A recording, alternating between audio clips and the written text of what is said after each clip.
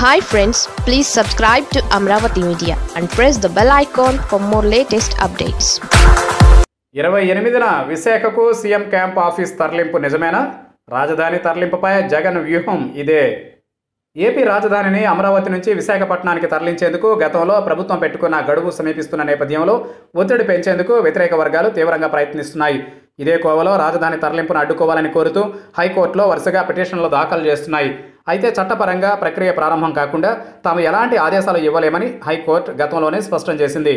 అయితే ముందస్తు భయాలను దృష్టిలో ఉంచుకుని తమకు చెప్పకుండా ఎలాంటి నిర్ణయాలు తీసుకోవద్దని ప్రభుత్వానికి సూచించింది. దీంతో ప్రభుత్వం హైకోర్టులో ప్రమాణపత్రం దాఖలు చేసింది.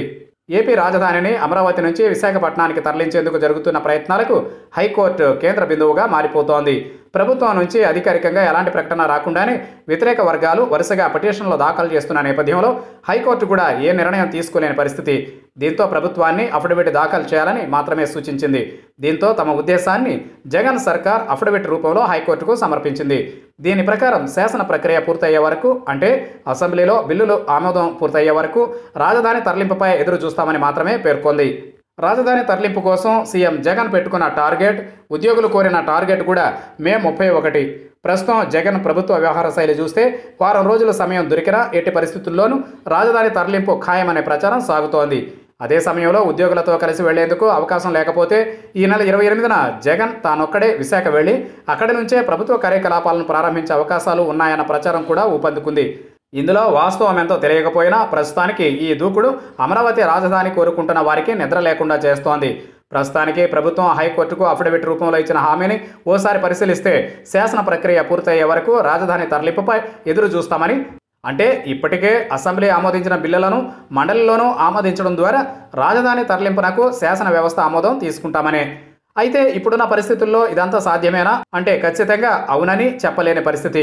రాజధాని బిల్లులను ఆమోదించకుండా వ్యతిరేకించకుండా సెలెక్ట్ కమిటీ పేరుతో కాలయాపనకు సిద్ధమైన శాసన మండలి రద్దు కోరుతూ ప్రభుత్వం ఇప్పటికే అసెంబ్లీ తీర్మానం చేసి కేంద్రానికి పంపింది. అంటే మండలిలో ఆమోదం సమస్య లేదు.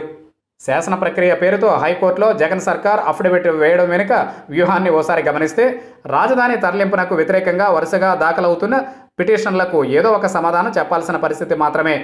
అంటే తక్షణం ప్రభుత్వ అభిప్రాయం చెప్పాల్సిన పరిస్థితుల్లో కీలకమైన శాసన ప్రక్రియ ద్వారానే ముందుకెళ్తామని హైకోర్టుకు చెబితే అందులో అభ్యంతరాలేవి ఉండకపోవచ్చు.